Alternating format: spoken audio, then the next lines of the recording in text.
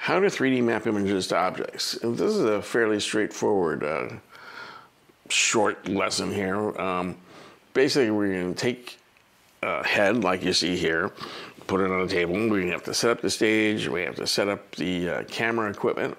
So you have your camera. You have uh, your projector director. This is a, so the camera sees what the projector sees. So, and you need a projector. So when we look at this, we see that the projector is pointing at the projector director, which reflects the light off of the front plane at the uh, your subject, the head, and then the camera shoots through it. So it sees the same thing that the projector sees. So when you're projecting a, a grid like this, the camera sees it exactly. So we can get an exact representation of what the projector is throwing out. Not sort of, not close, but exactly what it is. So here, this red line is the 16 by 9 image that the projector is throwing. So we crop down to that, put it into Photoshop, and create masks for the um, separate areas that we're going to illustrate. So this had the background, the box, all need masks in these masks in Photoshop, um, we make PNGs and we bring them into After Effects. And in After Effects, you put the mask just above the whatever the image is that you want to uh, to confine, and you make a tracking mask. In this case, it's an alpha tracking mask.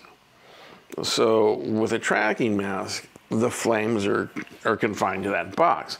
So we do this again and again for each area with the head, the background, um, whatever it is that uh, the, the, art needs to be trapped to, so that when we do this uh, projection, it goes where we want it to go. Now we're seeing exactly where the projector is going to be throwing it, and so when we look at this art, we know that it's going to be going exactly um, on that part.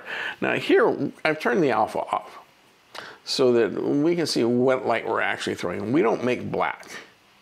Okay, black is intrinsic to the um, to the process because when we turn the lights off and uh, start uh, projecting, the black makes itself. All right, so here we're filming the um, projection and we see how, uh, how nicely it fits. This would be very difficult without the projector director. This device is blue in this, uh, in this image is essential to be able to get a good map surface. Uh, we've done a lot of optical experiments looking for the right uh, glass, the right mirrors, um, and it's been refined to the point where I can project an image on a 10 inch ball it's a simple, lightweight device that mounts in front of the camera. Um, the projector bounces off of it. And you find that uh, you can make very, very refined images.